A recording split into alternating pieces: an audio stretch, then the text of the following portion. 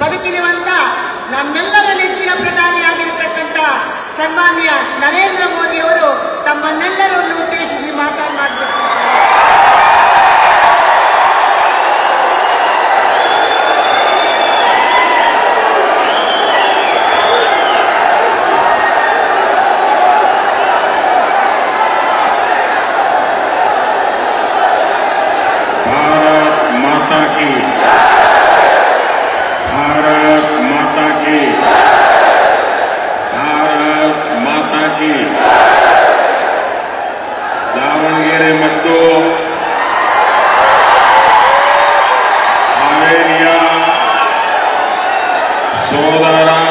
ಸೋದರಿಯರಿಗೆ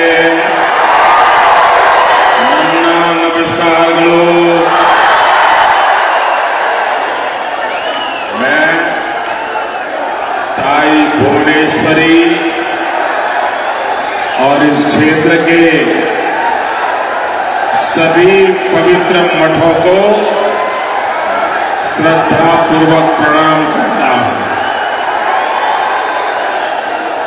साथियों कर्नाटका में 26 अप्रैल की वोटिंग से कांग्रेस में कोहराम मचा दिया।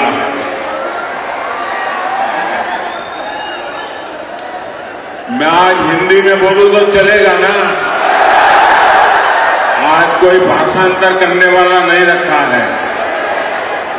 क्योंकि मुझे मालूम है कि आपका मेरे प्रति इतना प्यार है इतना प्यार है कि आपको शब्दों को कभी समझने की ज़रूरत नहीं रही। है भाषा हमारे बीच कभी दीवार नहीं रही है। क्यों? हमारा दिल का नाता बन गया है। भाइयों बहनों 26 अप्रैल को जो मतदान हुआ और कर्नाटका ने, यहाँ की माताओं बहनों ने, यहाँ के फ़र्स्ट टाइमर वोटरों ने जो कमाल करके दिखाया है, पूरी कांग्रेस ऊपर से नीचे तक। बहुत परेशान हो गई है। साथियों, पूरी कांग्रेस इस कोशिश में लगी है कि सात मई को कुछ तो ऐसा हो ताकि कम से कम एक खाता तो खुल जाए। उनके लिए इस बार दिल्ली में खाता खुलने की संभावना खत्म हो गई है। लेकिन दावणगेरे का ये विशाल जन समर्थन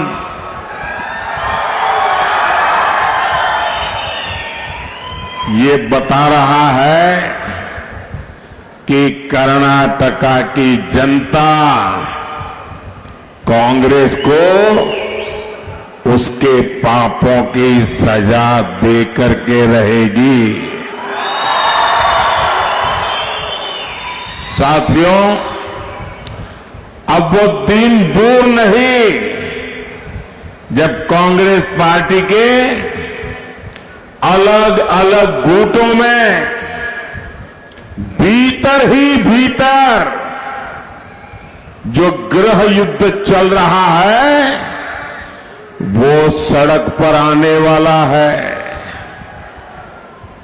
सारे गोट, हार का ठिकरा एक दूसरे के सिर पर फोड़ते नज़र आएँगे।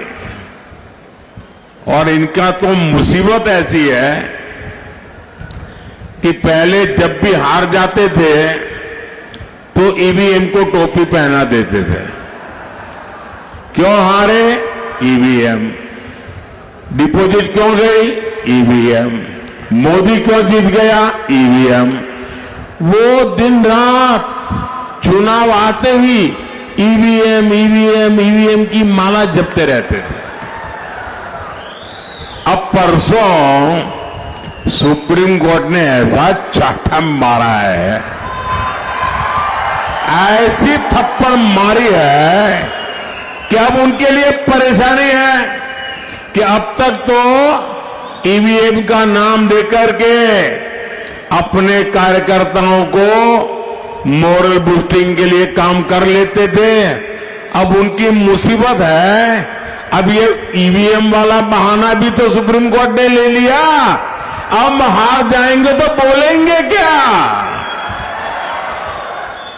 आज पूरी कांग्रेस चुनाव हार जाए तो क्या बयान देना उसके ड्राफ्टिंग में लगी हुई है।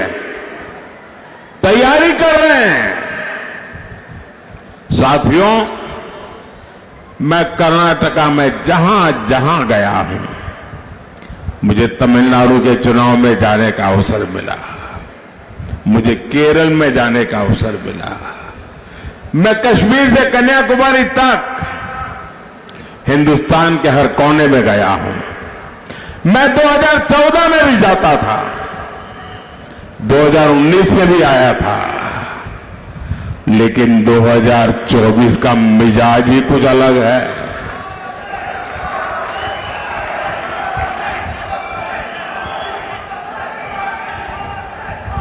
क्योंकि देशवासियों ने 10 साल हर पल मोदी को कसौटी से कसा है।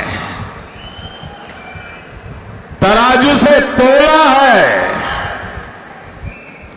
मोदी की वाणी, मोदी का वर्तन, मोदी का समर्पण, दस साल से देश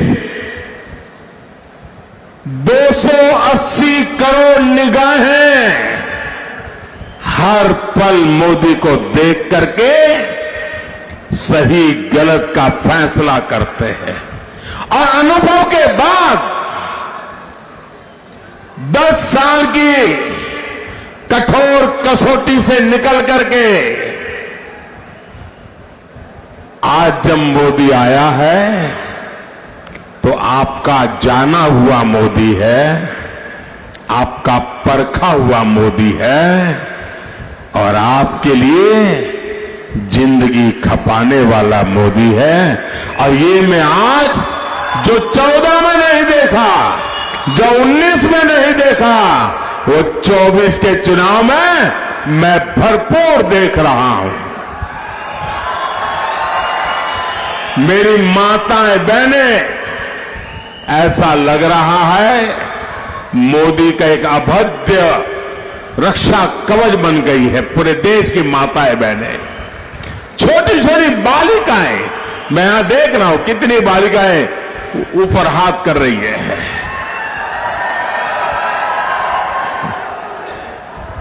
भाइयों बहनों, एक तो राजनीति कांग्रेस के अपने कारनामों के कारण पिछले सत्तर साल में क्षेत्र बदनाम हो चुका था। उसके बावजूद भी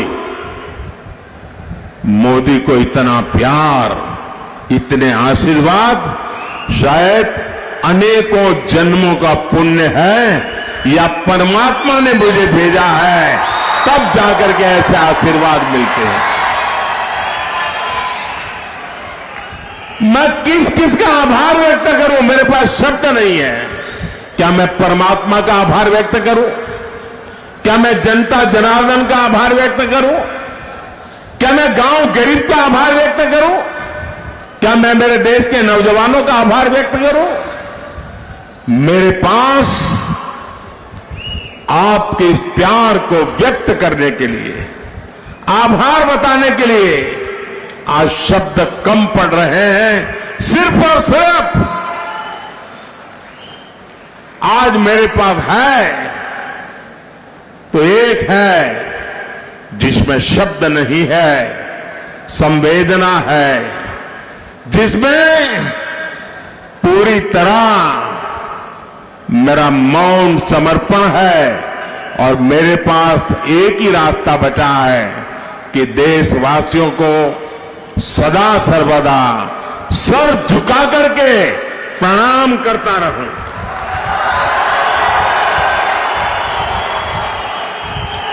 नम्रता पूर्वक ये सर झुकाकर हमेशा हमेशा के लिए मेरे देशवासियों को मैं प्रणाम करता रहूँ, उनके आशीर्वाद लेता रहूँ और न कभी थकूँगा। ये मेरी गारंटी है। न कभी थकूँगा। न कभी रुकूँगा, न कभी झुकूँगा। और हर पल आपके लिए जूझता रहूँगा। ये गारंटी मोदी ने दस साल आपने मुझे देखा। भाइयों, बहनों, आज मैं जहाँ जाता हूँ देश के हर कोने से, कर्नाटका के हर कोने से एक ही आवाज़ आती है। एक ही सुर सुनाई देता है। फिर एक बार, फिर एक बार, फिर एक बार। चार जून को पूरे कर्नाटका में सेलिब्रेशन होने जा रहा है।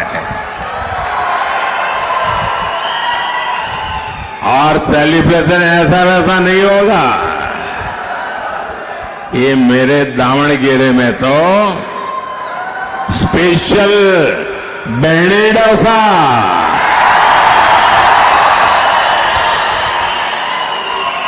अभी से तैयारी कर लो भाई।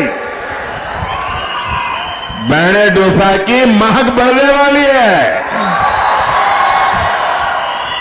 साथियों, आज एक और बीजेपी सरकार देश को आगे लेकर जा रही है। दूसरी ओर कांग्रेस कर्नाटका को पीछे धकेल रही है। एक और मोदी का मंत्र है, विकसित भारत के लिए चौबीसों घंटे काम, बिना रुके, बिना थुक थके, चौबीसों घंटे काम, twenty four by seven, twenty four by seven, और ट्वेंटी फोर्टी सेवन।